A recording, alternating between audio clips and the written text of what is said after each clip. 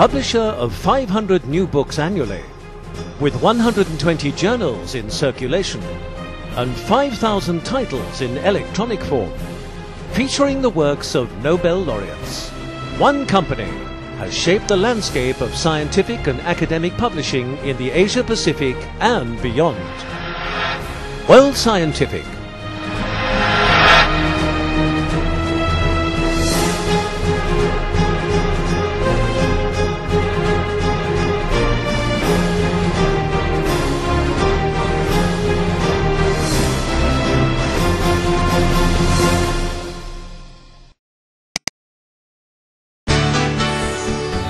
established in Singapore in 1981, World Scientific is today the largest scientific and academic publishing house in Asia Pacific.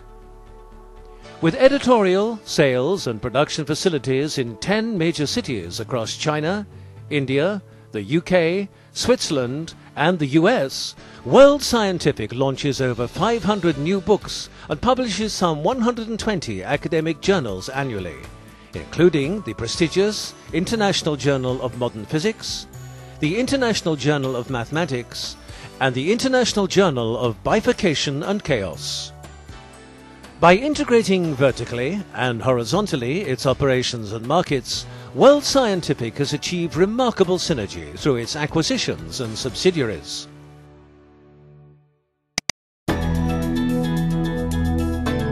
Amid a rapidly changing media environment, World Scientific has achieved a leadership position in scientific and academic publishing by leveraging on new technologies and maintaining the highest standards in quality, content and academic integrity. Among its biggest subsidiaries is the world-renowned Imperial College Press that publishes books and journals in over 20 disciplines. Started as a partnership between World Scientific and the Imperial College London in 1995, the Imperial College Press became a fully owned subsidiary of World Scientific in 2006.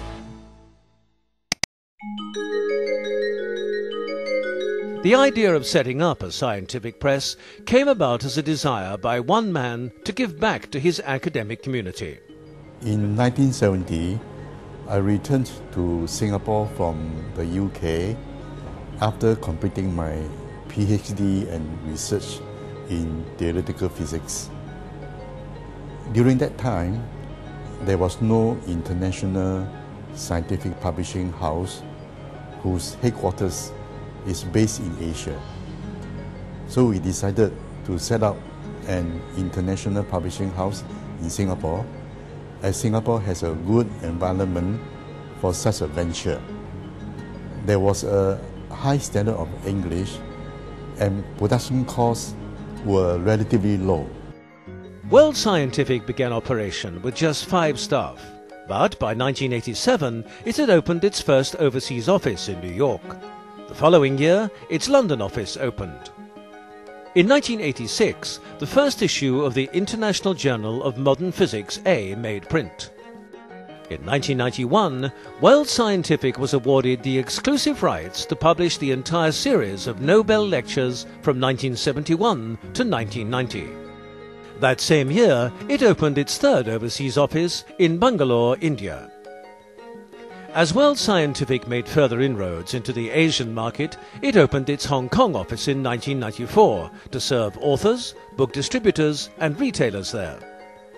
A year later, Taiwan became another base for World Scientific. 1995 heralded in a new era of growth with the establishment of the Imperial College Press that would go on to publish 650 books and 8 journals in the decade to follow. With the advent of the Internet in 1996, World Scientific soon developed its online bookstore and put four of its journals online. Commencing with its first online journal, the International Journal of Modern Physics, World Scientific went on to put all its journals online. It is now moving on to mobile devices. In 1998, the first World Scientific Nobel Public Lecture was delivered by Professor Steven Chu, joint winner of the 1997 Nobel Prize in Physics. By the end of the millennium, World Scientific has acquired its own 6,000 square meter headquarter building, housing state of the art facilities, But the best is yet to come.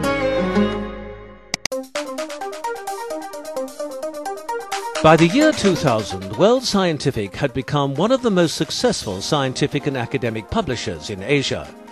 In 2000 and 2002, it won the prestigious Enterprise 50 Award by the Economic Development Board and Accenture. The 2000s saw the rise of China and India as emerging markets of the world. An office was set up in Shanghai in 2003 to seek collaboration with Chinese research institutes. As one of the first publishing houses in China, World Scientific grew rapidly in prominence with the publication of several magazines under the Chinese Academy of Science, and also the setting up of the World SciNet China Consortium. To boost its editorial capabilities in China, World Scientific opened its Beijing office in 2004. The office is located within Peking University. China, now second only to the US in terms of volume of scientific papers published, is the biggest market in Asia, outranking Japan. In 2006, World Scientific acquired all shares of the Imperial College Press. A Geneva office was set up in 2006 to serve the scientific community at CERN, as well as to touch base with the other organizations such as the World Health Organization and the UN office. In 2009, Dr. Phua was elected as a Fellow of the American Physical Society. And in 2010, World Scientific co-founder Ms. Doreen Liu won the RBS Coutts Financial Times Entrepreneur of the Year Award at the Women in Asia Awards and the 2010 Women Entrepreneur of the Year at the Asia Pacific Entrepreneurship Awards.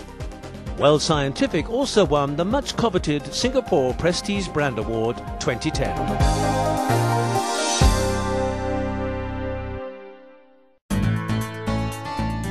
The Nobel Lecture Series represents some of the most important scientific and academic work done in fields ranging from physics through medicine to literature. World Scientific is proud to be the exclusive publisher of this body of work spanning the entire 20th century and further from 2001 to 2005. Not resting on its laurels, World Scientific has developed the Nobel Lecture Series into an annual event featuring keynote addresses by Nobel laureates. The inaugural Nobel Laureate Lecture Series was delivered in 1998 by Professor Steven Chu, joint winner of the Nobel Prize in Physics in 1997 and currently the United States Secretary of Energy.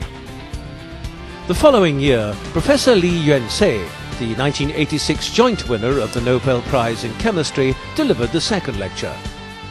This was to be followed by Professor Douglas Osheroff, the 1996 winner of the Nobel Prize in Physics. In the years that follow, the public lecture series became the podium of choice for other Nobel laureates, like Professor George Porter, Professor Martinus Veltman, and Professor Ahmed Zewail.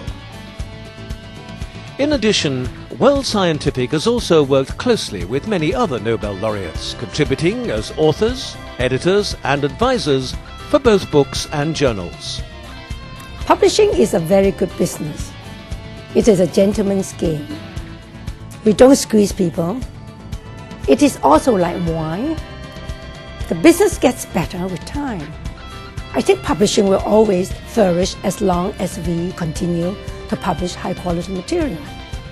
Because there is always a quest for new knowledge. It is part of the human spirit.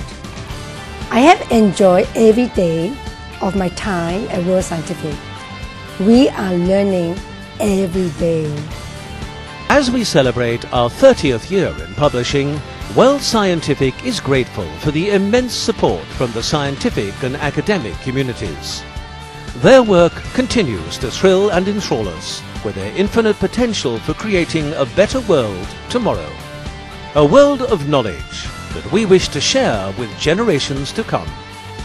World Scientific, connecting great minds.